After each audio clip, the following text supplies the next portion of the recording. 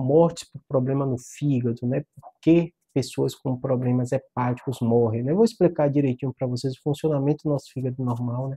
E as doenças que acabam levando à morte, né? O que que acontece? O nosso fígado é um órgão muito, muito relevante, porque ele é responsável por retirar do nosso corpo, quase toda excreta, né? Então, tudo que você se alimenta, remédio que você usa, tudo isso vai de alguma forma ser metabolizado no fígado, né? E é este órgão, ele é muito central, na grande maioria das vezes, de expelir, retirar do nosso corpo substâncias que às vezes, se ele tivesse no nosso corpo, poderia dar intoxicação, poderia prejudicar o cérebro, né? Uma série de substâncias que a gente se alimenta, que a gente come, que a gente usa, acaba fazendo isso no processo que ela é metabolizada dentro do nosso corpo. E o fígado está central nisso. E aí você começa a entender por que problemas no fígado podem levar à morte, né?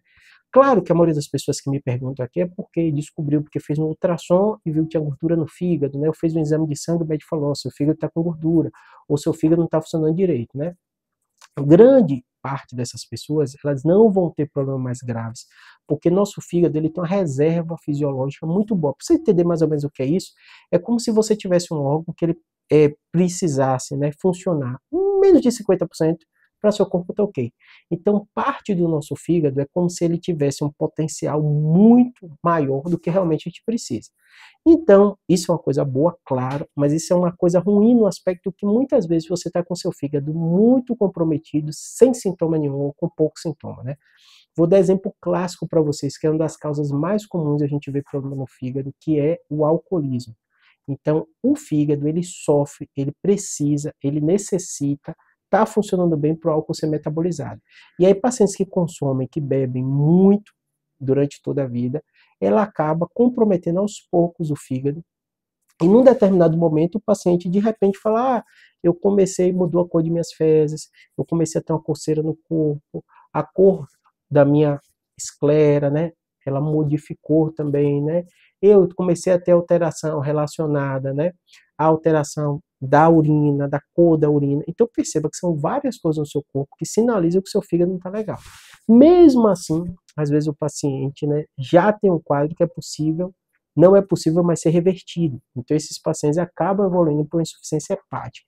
E aí é o grande fator que leva um paciente a morrer por problema hepático. Porque o órgão é essencial. Para o nosso corpo funcionar bem, nosso fígado tem que estar tá bem. E aí, se ele não está funcionando bem, seu corpo começa a ter falências. Como assim, Júlio? Acumula algumas substâncias que impregnam o seu cérebro. E o paciente tem confusão mental, fica mais lentificado, não, não raciocina bem, ele muitas vezes fica com insônia, ele fica agitado, ele tem tremor. Então, a encefalopatia hepática é uma possível causa de morte do paciente por problema no fígado e ela tem um destaque muito grande, né? Além disso, essas substâncias que eu falei que se acumulam, elas afetam o corpo como um todo, podem ter comprometimento de coração e outros órgãos. Então perceba que o fígado, ele regula várias partes do seu corpo e uma alteração dele pode comprometer o cérebro, coração, rim. Então a encefalopatia hepática é uma das principais causas de morte no paciente que tem insuficiência hepática, né?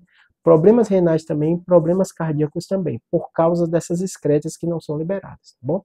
Então, causas de morte no, por problemas no fígado são bem comuns, em especial naqueles pacientes que o fígado já não funciona, tem insuficiência hepática e estão esperando o transplante. Por isso a relevância de doar órgão e fazer o transplante, porque esses pacientes, às vezes, a única solução para ele, para ele não morrer, é receber o fígado de alguém que já faleceu, mas que o fígado está funcionando muito bem, tá bom? Espero